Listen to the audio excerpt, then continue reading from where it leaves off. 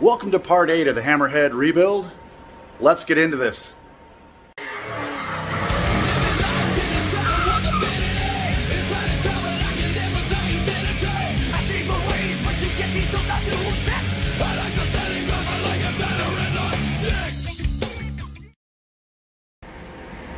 Welcome back to the channel. If you're new, hit that subscribe button. I appreciate everyone's support. We just eclipsed 800 subscribers. You guys rock. Thank you so much. I could not do this without you. I appreciate every one of you. So here's where we're at. Uh, started bleeding the master cylinder, having some issues. I got fluid come out of this line. A little bit coming out of this line once in a while, and the rear, I'm getting nothing. So I'm gonna do a gravity bleed. I'm just gonna open the bleeders, pull the top off that and just let it sit overnight. See if we get a little puddle underneath, then I know that the brake fluid has made its way in there. Um, Redbeard's Garage has a great video on how to bleed brakes. Please go check him out. Uh, I'm just learning how to do this myself, so I'm actually looking at his channel to figure out how to do this. So I don't want to take any of his thunder. He's a great dude, and you need to check his channel out if you haven't already. So, uh, where are we at? Uh, I've decided a few things. I can't stand the turn signals. I think those look terrible. I think I'm going to go with some LED strips on the bottom and get rid of those altogether. Like I've done, here, let me turn this fan down. It's 100 and death again today, so I got the fans going. There we go. So I have removed the turn signals on that and that, and we're going to go with these. So top's going to be the brake, bottom will be the turn signal. Uh, they're going to be red LEDs. I think it's going to look pretty cool. Oh, and I did uh, get the carburetor on, got the uh, pipe for the air filter on. Yes, that's a little air filter. I'm thinking about going with the big Haas uh, red and black one I got over here, but I have to get some adapters. Uh, this little Spectra air filter I think would match the cart nice. Uh, buddy of mine, Joel, was telling me, hey man, put that on there. I said, yeah, I'll have to see. But for now, we got one on there just to do testing, if anything. Um, like I said, I still got to button up the wiring. I did get my rear mount done. and this is actually from a fence. And it is, it has a little uh, piece on the end of it. It kind of is an L. I can put a link to one below. But all I did was, it was a little long, so I had to cut it off. And then I got it to slide in in here. It's right inside there. I don't know if I can get in there enough. There you go. So it does an L. It comes down and comes down and does an L, but it has the adjustment. Get the other side. You can see the threads all the way down, so I can adjust that up or down depending on the chain tension that I need. And as you can see, that thing ain't going nowhere. It barely moves and I don't even have it tight. I got a finger tight up top. So when I get that real tight, uh, I have my reverse box coming in that hopefully will slide right on. Pop the chain in. I got the link for the chain, so we're good there. We're making all kinds of progress. I got the new pads in the calipers, so that's on its way. Once I get it bled out, get the brakes going, and uh, button up this wiring, we're ready for a test fire. One more thing I got done was the exhaust. Yes, it's a little rusty, but for some reason, I like rusty exhaust. I may clean it up before I put it up for sale, which uh, stay tuned anybody who's been watching this to the end. If you're interested and you're in the Arizona area, it's going to be for sale here real soon, but um, and you'll know everything that's been done because I've documented it. But I got this on, and a little secret to it, I didn't know this, but right here is actually where the kickstart goes, and it's actually the exhaust mount. You pull off the kickstart lever and pop that on there. Now I will give the kickstart lever to whoever purchases this because if you're stuck in the middle of anywhere and you have the kickstart lever with you, something happens to the battery, you can slide that off, put the kickstart on, and start the motor manually. But just wanted to let you know. Oh, and I did have to find nuts for the front part of the exhaust. Let's see if I can get under here.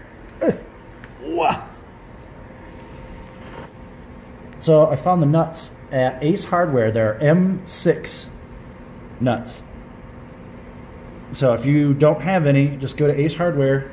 I think it was a buck a piece for M6 nuts to go on for that exhaust. Alrighty, so here we go. Let's install this reverse box. So I got it kind of set on there. As you can see, it's not lining up with the chain, so I'll probably have to put a spacer in there. But I have a couple more issues than that. So when I bought it, this half was laying here. This half was laying here in the box. And I was looking. Here's the shift lever. That's what came. Busted right out.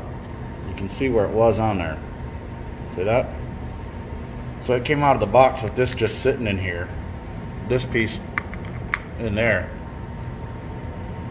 And they didn't give me any set screws right here to hold the thing together. This is from VMC Chinese parts. Well, their quality control needs some work. I went ahead and reached out to them, but um, yeah, pretty ridiculous when you spend that kind of money. You're excited and you get a broken part right out of the box.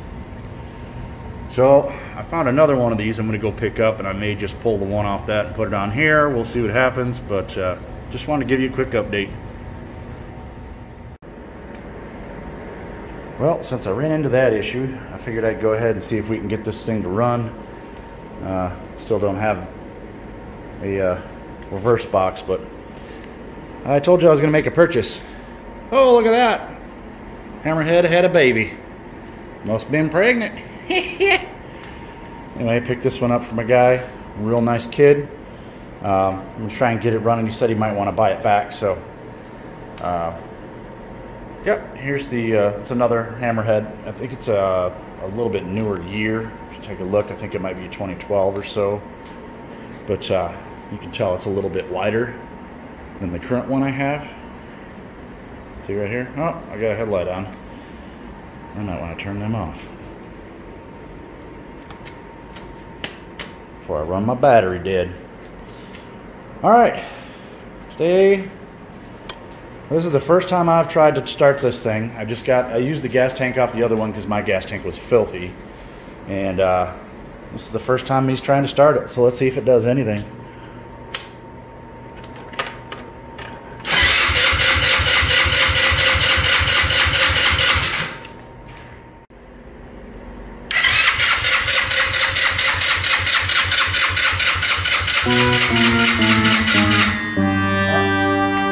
All right, guys, as you can see, this thing wouldn't start. Uh, I'm actually, this is a couple, a week or so later than uh, the last video you just saw. I'm having an issue getting spark out of this thing. And I tested the brand new CDI box that I got in my kit uh, with the wiring stuff, and it's bad. And then I tested uh, the CDI that I have on the new cart that's sitting outside, and it's bad as well. Uh, how do you test those?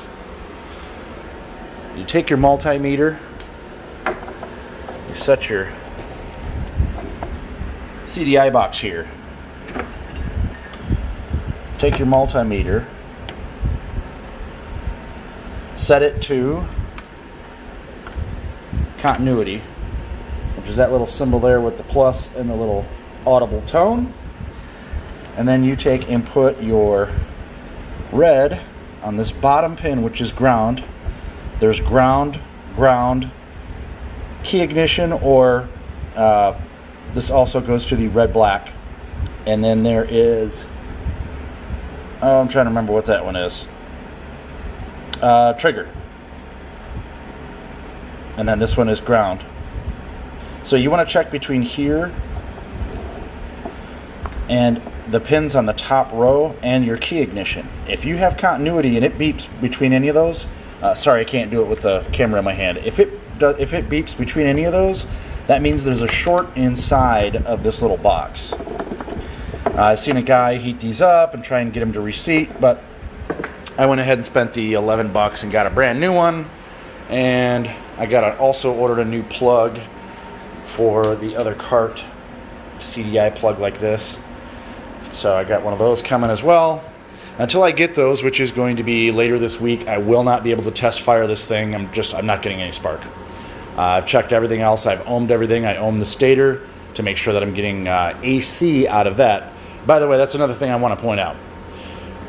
depending upon how old your hammerhead or Chinese anything is,